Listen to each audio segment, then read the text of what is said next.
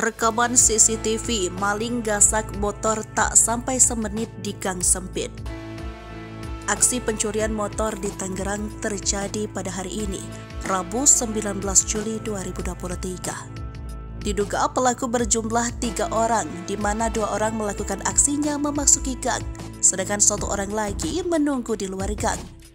Aksi pencurian motor hari ini tersebut terekam sebuah kamera CCTV yang berada di gang saat detik-detik pelaku melakukan aksi curiannya. Peristiwa tersebut terjadi di gang sempit kawasan Komplek Unilever, Karangbolia, Karangtengah, Tangerang sekitar pukul 5 waktu Indonesia bagian Barat. Berdasarkan rekaman CCTV tersebut terlihat dua orang pelaku sedang berjalan di gang sempit dengan cahaya yang minim. Terlihat kedua pelaku menggunakan sebuah topi, satu pelaku menggunakan baju hijau lengan pendek dengan celana putih.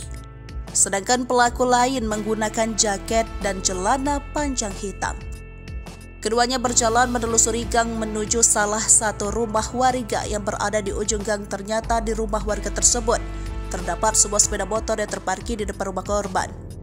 Tak butuh waktu lama, Salah satu pelaku kemudian kembali berjalan melewati gang tadi disusul pelaku kedua dengan berhasil membawa motor milik salah satu warga tersebut.